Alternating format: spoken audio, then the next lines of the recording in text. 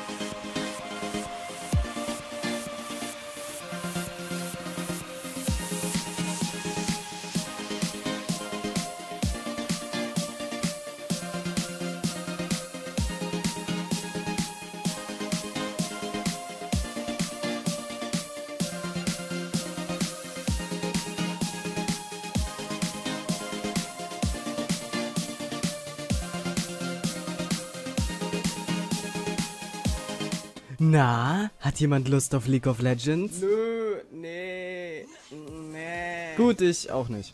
Aber doch sicher auf den Landwirtschaftssimulator. Ja, ja.